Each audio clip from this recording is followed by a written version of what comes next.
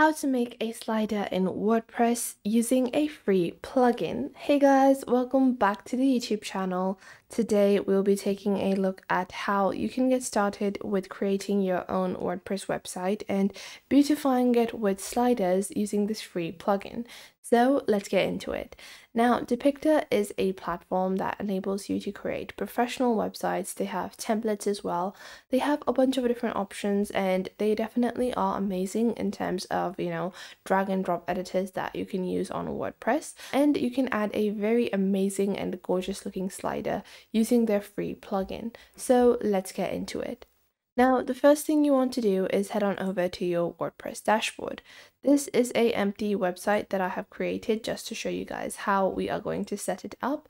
So what we're going to do is we are just going to create a new page so I can sample you the sliders. I don't want the focus to be on anything else. So the first thing you want to do is click on plugins on the bottom left and you will find add new. You're just going to do that. And on the right side of your screen, you're just going to search for Depicter. Once you search for Depicter over here, you'll be able to see this first plugin. It's called Depicter Slider, Responsive Image Slider. So we are just installing the slider over here. And once this has been completed, you're just going to click on Activate. Once we click on activate, we will be able to see it over here in our installed plugins and you'll be able to see all the details and you will be able to also see it on the left side of your screen. So we're going to click on Depicter over here. And now, just like that, you have a basic little home page where you can just click on create slider and you can create a blank slider. You can even take one of these templates that are available uh, to you. So let's say I want to use a template. So what I'm going to do is I'm going to uh, maybe I'm looking for you know like a I'm trying to build a clothing store and I want to try out sliders for a clothing store. So I will take this slider over here or any of the other ones. There are a bunch of different options to choose from. So I think I'm going to go with this one or maybe I'm going to go into the shop category. I think I'm going to do this one. So I'm going to click on import and you can preview these before you import them as well. But we're just going to import this template. So I'm just going to proceed to editor just like that. And you guys can see this is the slider. I can add next slide, next slide, so on and so forth. And you also have your basic editor so on the left side of your screen you can add more text you can add videos shapes vectors buttons controls.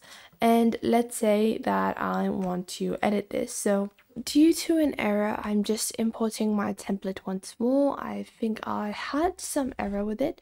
So I'm just going to proceed to my editor and we're going to start editing. We can see our text over here and we can just select it and then maybe I want to add a special offer for Thanksgiving or Easter. Like so so I can add that. And then I have this little section over here and I'm going to remove this as well. And then I can remove this image. And then I can go into the images section and add my own images that might be more relevant. So we're just going to add this. We're going to wait for this to load completely.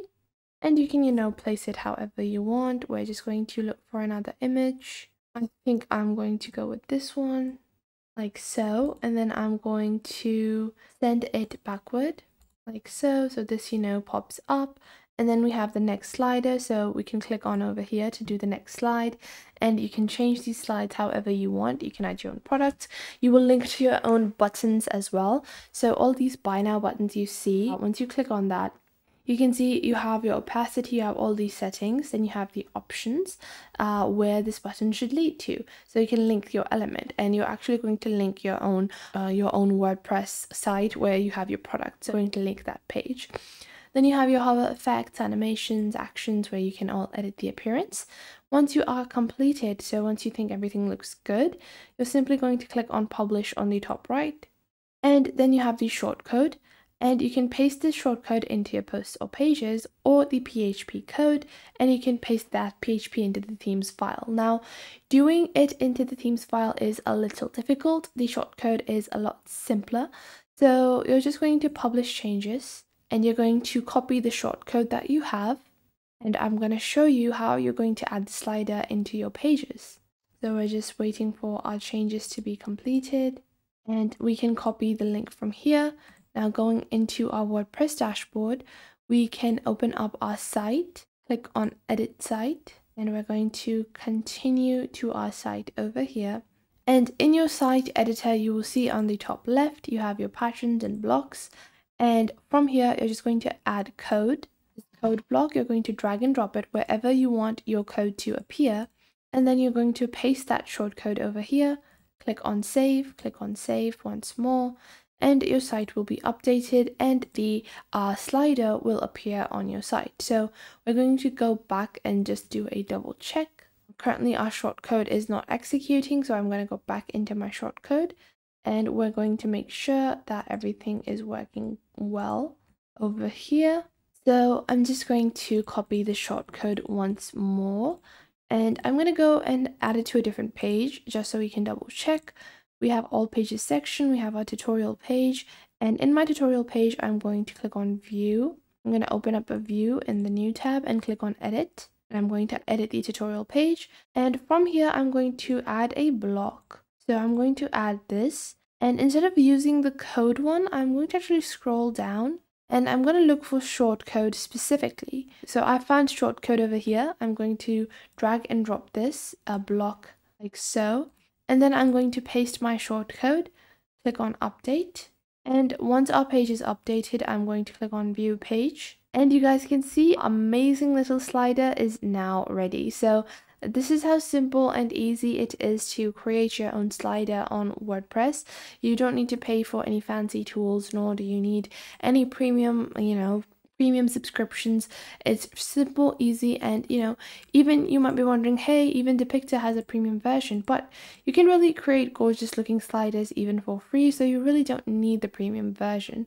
So that was it for today. I hope you guys found this video helpful and you are now able to follow along with these methods and techniques that I showed in this video. And if you enjoyed this video, I would recommend that you please leave a like. And if you have any questions regarding this video, regarding any other video, or regarding any social platform, then you can definitely ask me in the comments down below. And I will try to answer as soon as possible because that is the point of our YouTube channel. I want to show you guys on how to glide through these platforms and how to easily navigate and fulfill the purposes that you want to do with these social platforms. And if you have any details that you might want to know, any suggestions, any improvements that you think that I could add on to these videos, then please do leave them in the comment box down below and I will make future videos according to those.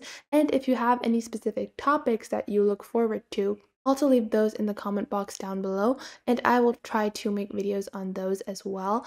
And make sure to subscribe to our YouTube channel and check out other videos. And if you feel like some other video might be helpful to someone else, make sure to share our videos with your friends and family as well.